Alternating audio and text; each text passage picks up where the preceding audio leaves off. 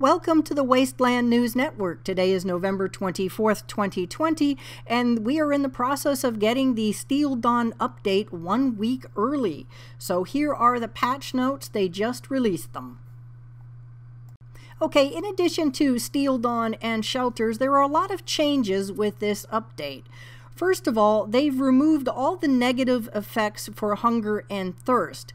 Instead, you receive buffs that increase with how healthy you are and your character. So really, you don't have to worry about food and water anymore at all. Uh, I wasn't sure if that actually was going to go forward, but it did. Uh, again, the Steel Dawn quest line uh, new arrivals uh, have appeared in the uh, Appalachia, and the Brotherhood is now at Atlas Observatory. Please note you can now fast travel to Fort Atlas for free, but if you discovered it as Atlas Observatory, you have to go there again and revisit the area to discover Fort Atlas, and that map marker will change. So there's that. I'm just quickly going over these. There's also going to be new rewards in daily ops. The Crusader pistol, the plasma cutter, Hellstorm missile launcher, and the Brotherhood uh, recon armor. And those will be plans, and you can go to regs at Vault 79 uh, to buy the mods. Again, uh, Camp Shelters, that brief quest called Home Expansion, uh, you'll be able to do that up at Vault 51. Now, today, because of the release date being a week early, only the utility room will be available today. That's the small uh, cement slab with the door, the very small utility room. The lobby and atrium uh, will arrive at a later date. So only the utility room today. And for those of us who buy a lot of items in the Atomic Shop, if you only purchase, say, one item out of a particular bundle and then you change your mind and want to buy the rest, they have lowered the prices and it will adjust according to how many of the items you have purchased previously. In addition to all the new Atomic Shop things, there's something called backpack flare. They're basically little keychains for your backpacks. Uh, they've added the slots in the backpacks. You can add it, but the flares themselves will not be available yet. They will appear at a later date. Again, backpack flare will appear at a later date. There are new items, rewards for daily ops, the recon armor, the crusader pistol, and so on. Also, we can say goodbye to duplicate plans, especially and specifically the non tradable plan. So, if you've received the Warglaive plan, you've learned it, uh, you will not receive it again. So, you have that option to receive a different rare plan instead of something you cannot drop or trade again.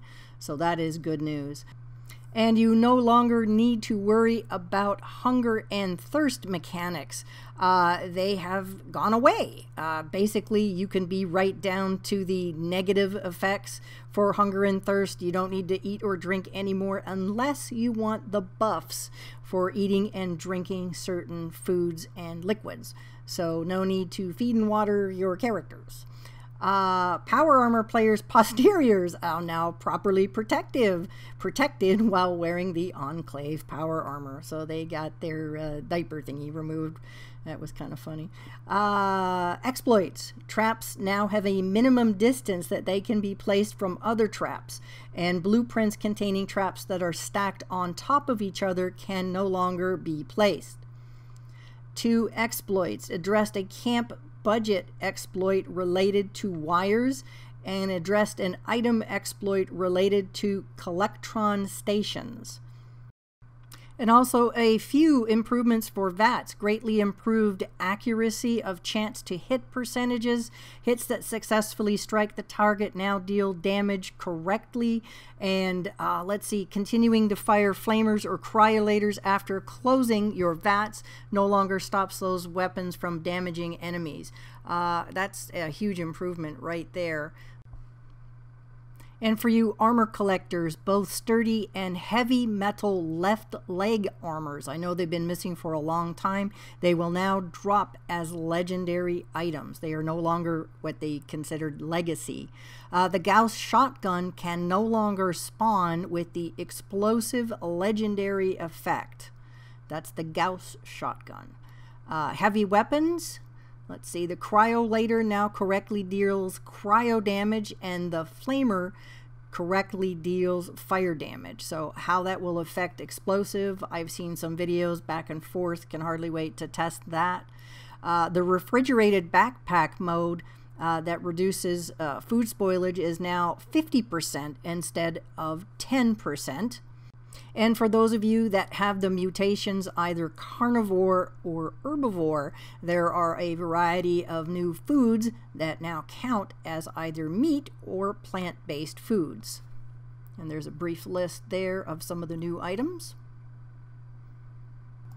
And they fixed an issue causing Nerd Rage to grant its damage bonus while above 20% health. So that has been fixed. So that will work correctly. And there you have a selection of highlights for the patch notes for the Steel Dawn update. I have lost track of what number we are at right now.